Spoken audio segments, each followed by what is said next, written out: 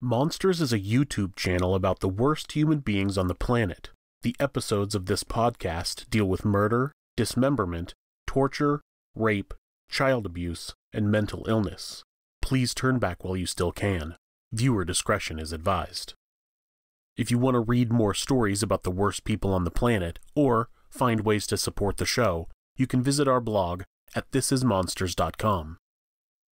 Paul John Knowles is an American serial killer who traveled through multiple states, stealing, raping, and killing along the way. He would kill at least 20 people from the age of 7 years old up to 65 years old. He killed men and women and even a police officer, only being stopped by three bullets to the chest. This is Monsters. Come back and find out that he's deceased. tapping me on the head, telling me I'm cheating, telling me I'm, you know, let me see your phone. Just kill her, and she died. I think Diego Campione is totally in the wrong, and I hope he burns in hell for all his sins. Hell's not a very fun place. I only have two hands. I'm, I'm not four hands girl. I'm two hands. And I don't know, it was just get escalated, escalated.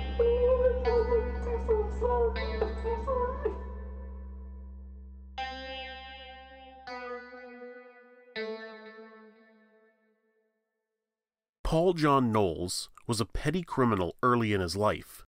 Even though his father was known to dish out severe beatings, almost beating Knowles to death on multiple occasions, he continued committing crime.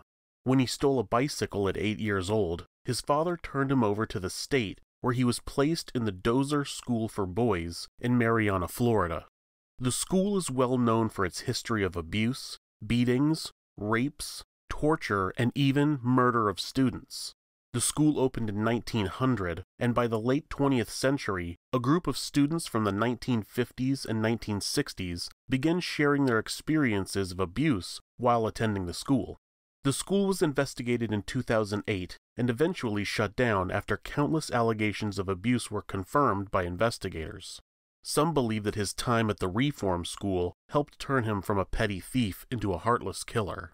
As an adult, finally free of the hell he experienced at the Dozier School for Boys, Knowles went right back to theft to support himself. He was arrested multiple times from the age of 19 through his early 20s for burglary, auto theft, and kidnapping. He escaped from a work camp in 1972 but was captured three weeks later. He had three years added to his sentence for the escape and for resisting arrest. While he was in prison, he began corresponding with a young woman from San Francisco, California. Angela Kovic was a divorced cocktail waitress who was excited to have a new pen pal. She quickly fell in love with the man who would later be dubbed the Casanova Killer. Angela Kovic eventually flew to Florida to visit Knowles where he proposed to her. She hired a lawyer who managed to get her new fiancé out on parole. He was released in May of 1974 and flew directly to San Francisco to start a new life with his soon to be wife. Unfortunately, Kovic would later say that once she saw Knowles after he arrived in California, he projected, quote, an aura of fear, end quote, that scared her. She connected that to a recent visit she had made to her psychic, who told her that a dangerous man was about to enter her life. The young woman decided that she wasn't willing to take the chance and called off the wedding. The night that she dumped Knowles, he claimed to have killed three people on the streets of San Francisco, though this claim has never been substantiated. Heartbroken, Knowles traveled back to Jacksonville where he got into a bar fight and wound up pulling a knife on the bartender. He was arrested for aggravated assault and thrown in jail, but he was able to pick the lock on the cell door and slip out. On July 26, 1974, Paul John Knowles escaped from jail and began his murderous rampage. The same night that he escaped, he broke into the home of 65 year old Alice Curtis. A retired school teacher who was home alone that night, Knowles gagged the woman and tied her to a chair so he could burglarize her home and steal her car. Though he never intended to kill Alice, he would ultimately cause her death. She wore dentures which slipped in her mouth, causing her to choke to death. He drove around in her car for a few days until police started suspecting him of the crime. While looking for a place to ditch the car, he ran into two young girls who were friends of his mother. Being afraid that 11 year old Lillian Anderson and her 7 year old sister, Mylette, might identify him, He kidnapped them, strangled them both, and dumped their bodies in a nearby swamp. After dumping the bodies of the Anderson sisters, Knowles fled north to an area near Macon, Georgia. Knowles made audio diaries throughout his crime spree, which he would mail to an attorney in Florida.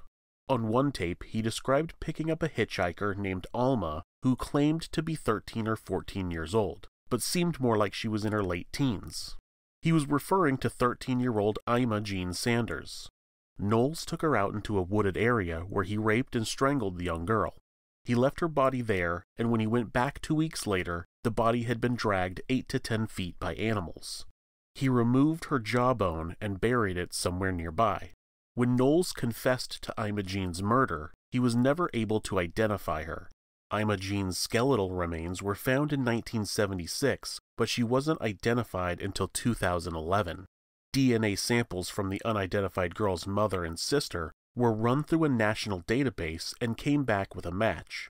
Once they were able to trace where Imogene had been before her death, they were able to connect her to Knowles, which led them to search through the transcripts of the serial killer's audio diaries.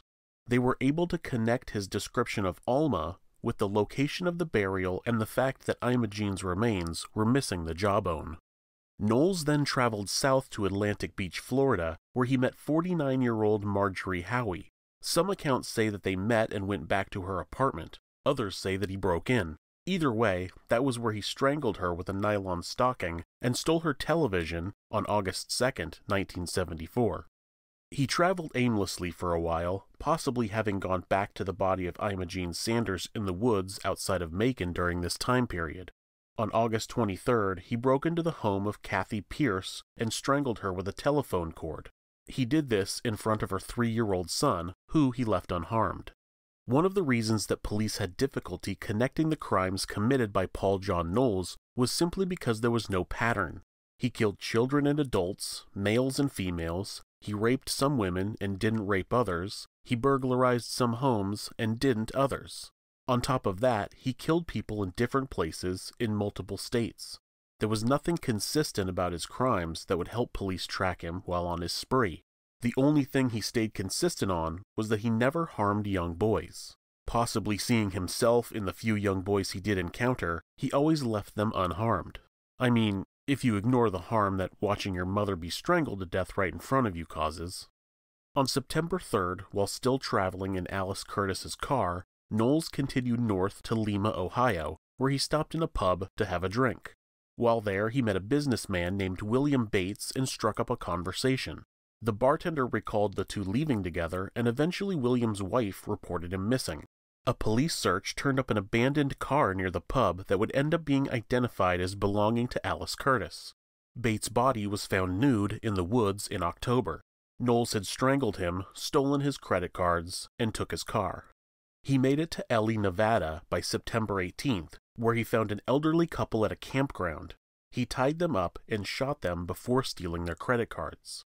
The murder had no leads until Knowles confessed to the crime later that year. He then looped around and began traveling east through Texas. He spotted a stranded woman with a broken down motorcycle about 35 miles east of San Antonio. When he pulled over and offered to help, the woman, Sherilyn Hicks, happily accepted. He kidnapped her, raped her, and strangled her before he dragged her body through a tangled barbed wire fence. On September 23rd, he arrived in Birmingham, Alabama, where he met a beautician named Ann Dawson. She ended up traveling with Knowles for about a week, and records show that she actually paid for some of the trip's expenses while she was with him. It's not known whether she went with him willingly or not. He was said to be a good looking and charming character, which is how he got his name, the Casanova Killer. On the 29th, he got tired of her and killed her. During his confession, he claimed to have dumped her body in the Mississippi River, but no remains have ever been located. Knowles continued driving around aimlessly, living off of stolen money and credit cards. He traveled through Oklahoma and all the way up to Connecticut with no known bodies in his wake. In Marlborough, Connecticut, he broke into the home of Karen Wine, who was home with her 16 year old daughter, Dawn. He then raped them before strangling them with a stocking and got back on the road. By October 18th, Knowles had made his way down to Woodford, Virginia, where he busted into the home of 53 year old Doris Hovey. He grabbed her husband's rifle and shot her to death before wiping his prints off of the weapon and placing it beside her body.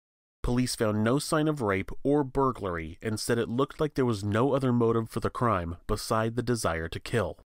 In Key West, Florida, Knowles picked up two hitchhikers with the intention of killing them, but he ended up getting pulled over by a patrol officer. Even though the car was reported stolen, the officer let him go with a warning, but it still shook up the killer enough that he reconsidered his plan. The hitchhikers quite literally dodged a bullet when Knowles let them out of the car in Miami. The encounter with the police officer prompted Knowles to call his attorney, who pleaded with him to turn himself in. Knowles refused, but he did give the lawyer a taped confession before hitting the road once again. He arrived in Macon, Georgia on November 6th and met a man named Carswell Carr. This was a time when people trusted strangers. You could pick up a hitchhiker or invite someone back to your house without automatically assuming they were going to stab you to death with a pair of scissors. Carswell invited Knowles to sleep at his house that evening, and once there, his guest stabbed him to death with a pair of scissors. Raise your hand if you saw that coming. He then strangled Carswell's 15 year old daughter to death and attempted to have sex with the corpse. Knowles would later claim that he was unable to perform with the girl's body. One of the few women who was picked up by Knowles who was not killed was British journalist Sandy Fawkes. They met at a bar in Atlanta and traveled together for a couple of days. She found the man handsome and charming and was interested in being intimate with him. Knowles was unable to perform sexually with the woman, suggesting that he was not able to get aroused when he was with a consenting partner. The couple went their separate ways on November 10th, and Knowles ended up picking up one of Sandy's friends, Susan McKenzie. He tried to force her to have sex with him at gunpoint, but she managed to get away and notify police. When the officer approached him, Knowles pulled out a sawed off shotgun and escaped. A few days later, while in West Palm Beach, Florida, Knowles broke into the home of a disabled woman named Beverly Mabee. He kidnapped her sister and stole their car, but instead of killing her, he dropped her off the following day about an hour north in Fort Pierce. While heading north, a Florida Highway Patrol trooper, Charles Campbell, recognized the stolen car and pulled Knowles over. The killer was able to best the officer and took him hostage in his patrol cruiser. Knowles used the emergency lights to pull over James Meyer, who he also took as hostage, after ditching the patrol car. He made it into Georgia, where he pulled over in a wooded area, handcuffed the two hostages to a tree, and shot them both in the head. While fleeing from the area, he attempted to blow through a police roadblock, but was unsuccessful. He crashed the car and began shooting at police while running away. Even though he was shot in the foot, he was able to evade police for a short time, they used dogs and helicopters to search for the violent man, but eventually 27 year old Vietnam veteran David Clark found Knowles and held him at gunpoint until police were able to pick him up. On November 17, 1974, Paul John Knowles was arrested for multiple murders, rapes, and thefts all over the country. He would claim to have been responsible for 35 murders, but only 20 have ever been confirmed. On December 18, 1974, Knowles was being escorted by Sheriff Earl Lee and GBI agent Ronnie Angel to a location where he had claimed to have dumped the gun he took from Trooper Charles Campbell. While in the back seat of the police cruiser, Knowles was able to pick the lock on his handcuffs with a paperclip and managed to get his hands on Sheriff Lee's gun, firing one round. Agent Angel turned and fired three shots into Knowles' chest, killing him instantly, he was 28 years old. If you like these videos, please hit subscribe, click like, or leave me a comment. If you'd like to support the channel, you can donate a few bucks through Buy Me a Coffee. You can click the link within the YouTube banner or go to buymeacoffee.com backslash monsters. Another way you can support the channel is by using our Amazon link anytime you're going to buy something at Amazon. You can go to our website at thisismonsters.com and click through the Amazon banner anytime you're already going to buy something from Amazon, you can click through that link and buy your items at no additional charge, and we get a small commission. I'm always working to provide more content at better quality, and your support helps me do that. I thank you in advance.